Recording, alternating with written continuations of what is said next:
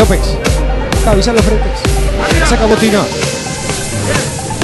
Bueno, es el gran problema que tienen los arqueros, ¿no? Un error de ellos. Claro, define, define puntos. Cualquier otro jugador de campo se puede equivocar y algún compañero salva la situación. En este caso, no. López.